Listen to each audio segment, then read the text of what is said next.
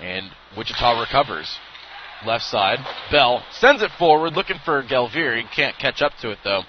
Bringing it out now. McClelland. Cross ice. Shot. Score! McClelland goes cross ice and finds